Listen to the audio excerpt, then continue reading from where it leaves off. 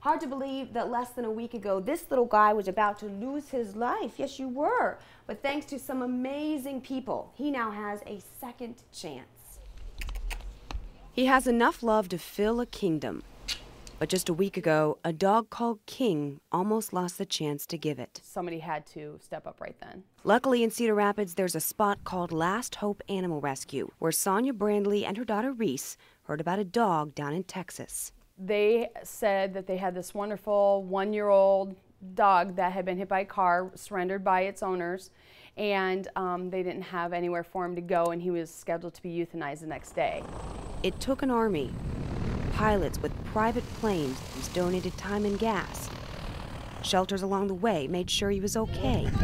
Until Wednesday, with royal treatment, King arrived in his new home, where it was love at first sight.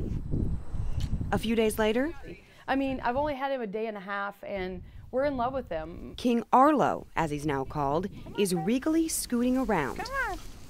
But there might be hope one day he'll walk again. We were ordering his um, wheelchair online, and um, I reached down to pet him, and he wagged his tail.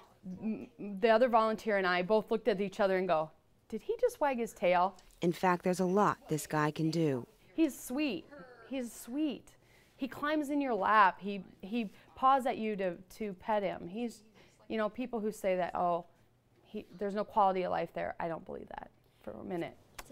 Turns out, last hope was his best hope. The moral of the story, I guess, is he gets his opportunity to be happy and healthy and maybe someday walk. We don't know. For now, he's safe and sound in his new home, fit for a king.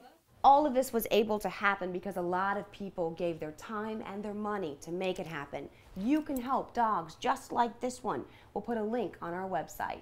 Covering the corridor in Cedar Rapids, Joy Howe, CBS 2 News, live at 5.